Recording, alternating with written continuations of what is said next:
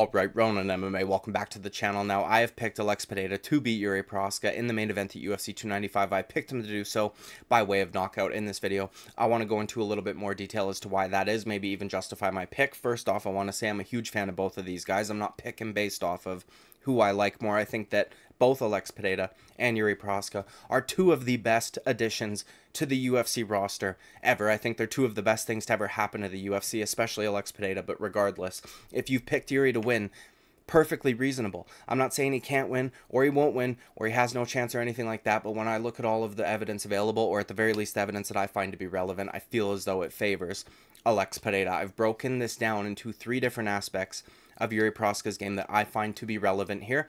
I will go over them in the order that I think that they will play out or become more relevant as the fight goes on. Now, obviously, there are things in Alex Pereira's game that could benefit Yuri or that he could exploit. I'll touch on those a little bit, but obviously, I'm going to be focusing on why I think Alex Pereira can win rather than how Yuri Prochazka can win.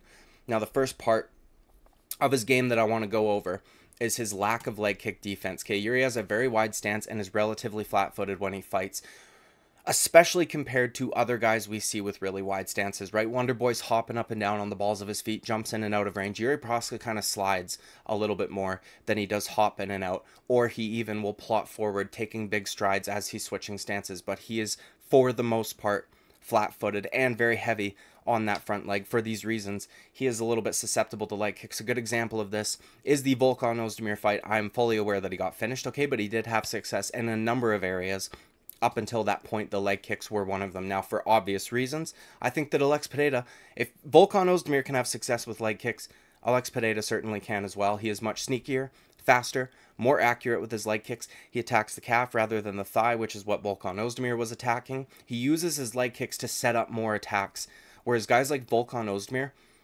with all due respect, I'm not trying to be demeaning in any which way, shape, or form, but he is not as sophisticated a striker as Alex Pereira. As a matter of fact, at range especially, he does most of his best work in close quarters, whether it's tight in the pocket or in the clinch even. He'll hit guys with really short shots that for some reason seem to put him down, okay?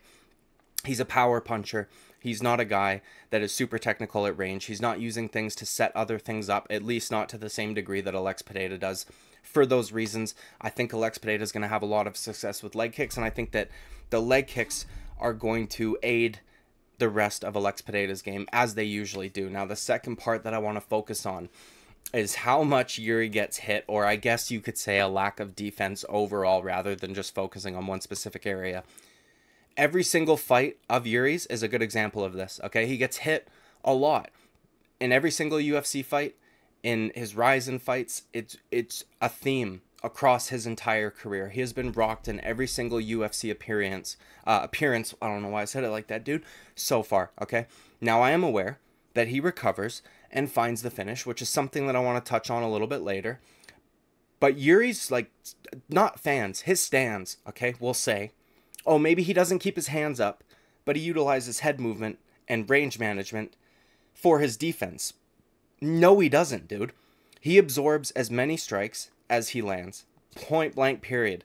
Maybe you want to say Yuri Prochazka likes to get hit, and maybe Yuri Prochazka is the only guy on the UFC roster that you can unironically use the he sees red bro argument for and not sound stupid. Maybe that's the case. I'm not even saying that it's not, but he gets hit as much as he hits. He lands as much as he absorbs. There is no strike differential whatsoever. He uses most of his head movement when he's not in range to get hit, he'll dip down and do all these weird things because they kind of disguise his entries. Now, they're good for other things, but they're sure as shit not effective for defense when you absorb as many strikes as you land, okay? Uh, he will literally walk onto shots too. This is the other thing. Like, he'll just throw himself in there with no defense in mind whatsoever. A good example of this is the King Mo fight. Now, I am fully aware this was eight years ago, but again, Yuri stands really like to bring up the Vadim Nemkov fight, which was also eight years ago. It was actually the fight right before this. It might have even taken place on the same night, but King Mo knocked him out cold, flatlined him from a shot that he didn't have to set up. He didn't have to do really anything. It was one of the lowest effort KOs I've ever seen because Yuri Prochazka just walked right on to a massive right hand. And he does this all the time against every opponent. While this makes for a very exciting fight style, very fan friendly. and maybe it's worked for him up until now, at least the vast majority of times. Eventually, that durability is going to run out. We've seen that from many fighters throughout the course of the UFC. Um, eventually, you're going to fight a guy whose shots you aren't okay with eating, right? And when you get hit as much as you get hit, uh, or as much as you land, eventually it's going to catch up with you.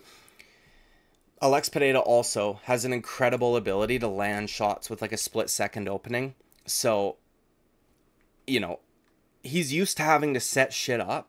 I don't think he's even going to really have to in this fight. I think he's going to have to work less hard than normal to land the shots that he wants to. I think he's going to sit back, wait, and counter, if I'm being brutally honest, and I'll tell you why a little bit later, rather than when we see him having to create an opportunity for himself, like at the end of the first Israel Adesanya fight, or a good example of a split second opening is the one against Sean Strickland. We know Sean Strickland's one of the best defensive fighters in the entirety of the UFC.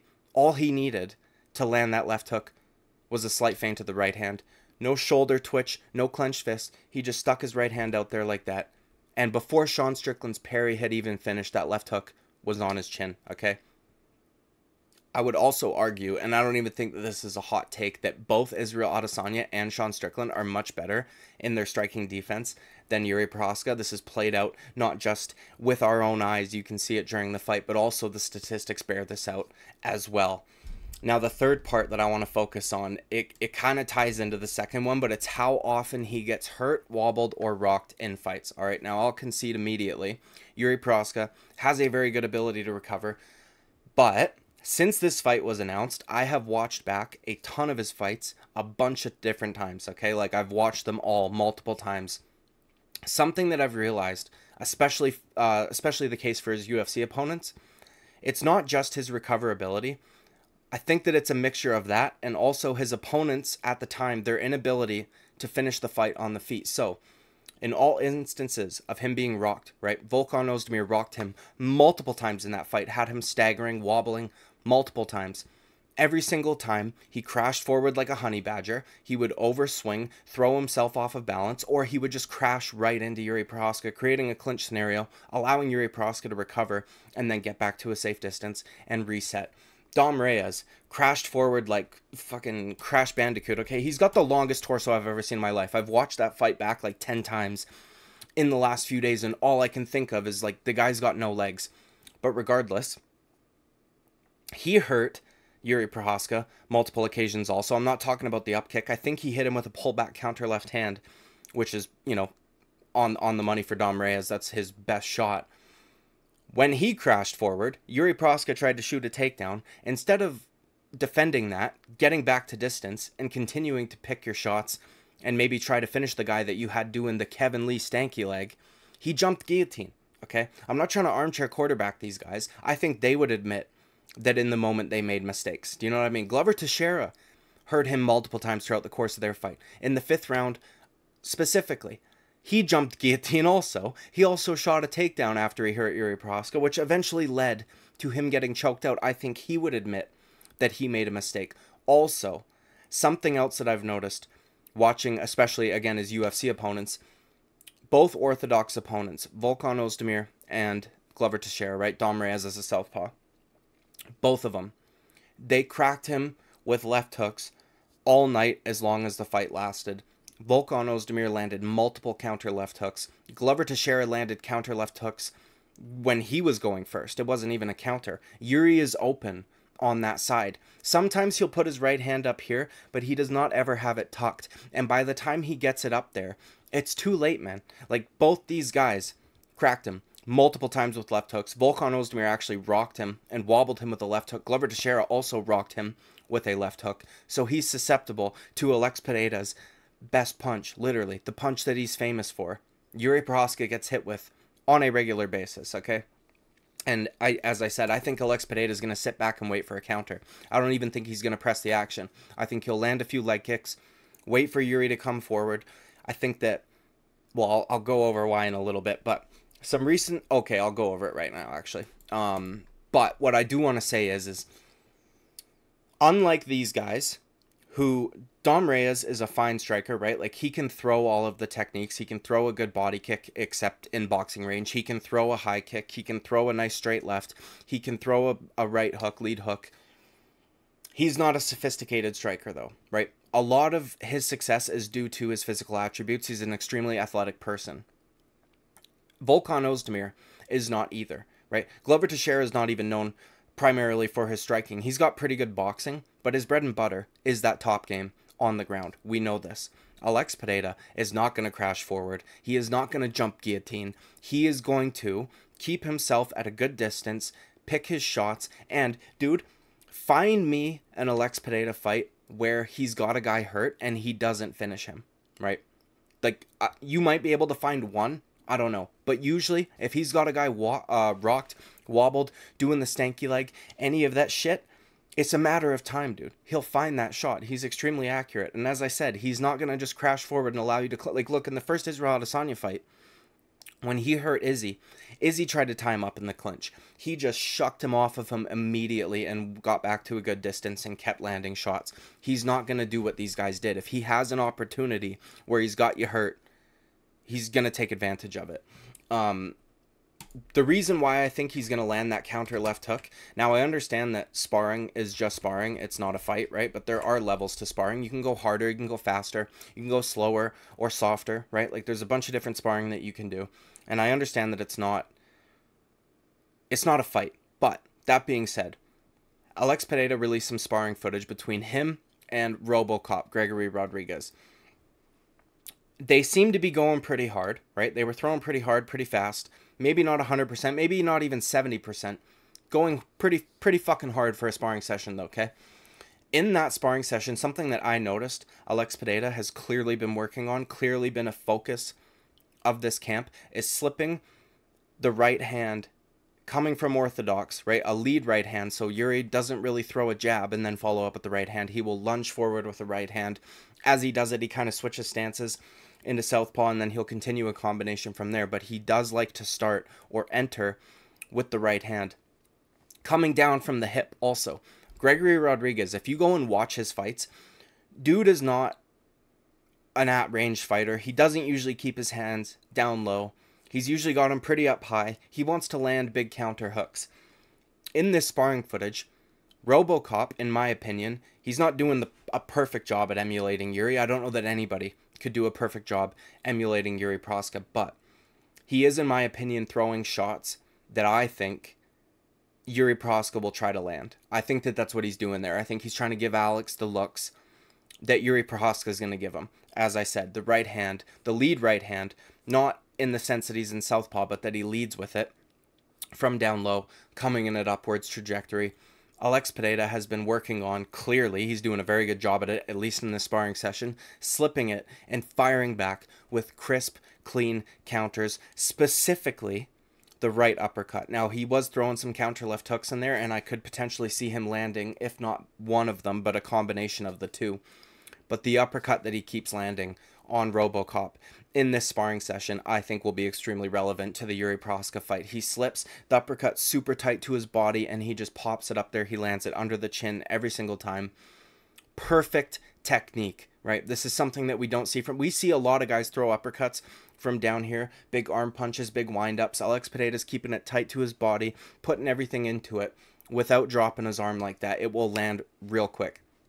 Sometimes he was following it up with a left hook. Sometimes it was the left hook and then the counter uppercut that followed. I think those specifically are going to start the, the the chain of events that leads to Yuri Prochazka getting finished. I think that he will hurt him with a either, as I said, counter right uppercut or a counter left hook off of a Yuri Prochazka right hand that he leads with, and then he will finish it off from there. Because as I said, once he's got you hurt, he doesn't let those kind of opportunities go to waste. I could see him landing like one of those scissor knees on Yuri Prochazka after having him hurt because of how much Yuri Prochazka dips. And every time he's been hurt in the UFC, he tries to shoot. He wants to clinch up with you, right? He tries to get away, and then when guys come rushing in, he clinches up with them. I could see Alex Pereira landing some shit in that instance. Now, as I said, there are things that Yuri Prochazka could exploit of Alex Pereira. One of those things is sometimes when he's throwing leg kicks, he can do it I don't know that he's being lazy, but it comes off as that. Like they come off as a little sloppy or just like whatever, and he'll kind of just throw them out there. If he doesn't disguise them, or if he's not throwing them fast and as sneaky as he possibly can, he could get countered off of one of those leg kicks. Alex Pereira doesn't really keep his hands all that high either. Now he keeps them a hell of a lot higher and closer to his chin than Yuri Prochazka. But as I said, he might even want that since he's been working on slipping those right hands. Also, don't get fucking caught backed up against the fence. Yuri Prochazka, in all of his fights, okay, the choke on Glover was up against the fence. It was off of a shitty Glover takedown after he had had him hurt, but regardless. Dominic Reyes got finished on the fence. Volkan Ozdemir got finished on the fence. If you've got your back touching that cage, Yuri Prochazka is, is at his most dangerous. So Alex Pereira is going to have to keep an eye out for that. He's going to have to not not allow Prochazka to back him up in that way. And uh, as I said, just be mindful when you're throwing leg kicks because he could counter you over the top. He might want that though since he's been working on slipping the right hand so much during this training camp. Now, that's it, dude. Those are the reasons why I think Alex Pereira will beat Yuri Prochazka. As I said, I'm not saying Yuri Prochazka can't win, won't win, doesn't have a chance, any of that shit. He is a little crazy. He does wild shit he throws things from angles that most people don't. Do you know what I mean? But I just think when it boils down to that, Alex Pereira has faced so many strikers, right? 40 plus kickboxing fights, 10 plus professional MMA fights, a pro boxing fight. I think he's kind of more or less seen it all, right? Not every kickboxer has the same style. I, I don't know, man. You know, Yuri might just be able to rush forward and eat his shots, but that's not really been the case before. He has to recover and you know reset and then he starts having success. Whereas Alex Pereira when he gets you hurt that's it. Yuri gets hurt early also by the way usually in the first round. Against Glover it was later on in the fight but regardless like and subscribe. I would greatly appreciate it. I will see you at the next video. Bye bye